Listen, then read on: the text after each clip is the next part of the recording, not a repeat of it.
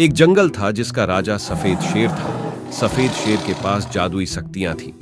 एक दिन एक उस जंगल में एक कालिया बाघ आ जाता है और बाघ शेर को देख वहाँ से चला जाता है। फिर बाघ जंगल पर कब्जा करने का प्लान बनाता है।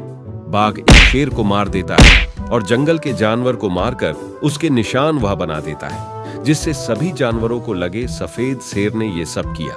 फिर सफ़ेद शेर अपने दोस्त बाज से नज़र रखने को कहता है बाज सब देख बता देता है और सफ़ेद शेर कालिया बाग को मार देता है।